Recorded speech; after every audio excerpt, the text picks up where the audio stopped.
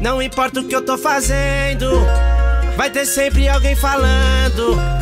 Acho melhor ser ir na luta do que cê ficar me assistindo e me gorando. Quem é o cara do momento? Tá todo mundo comentando. Elas me pedem tudo dentro, mas conheço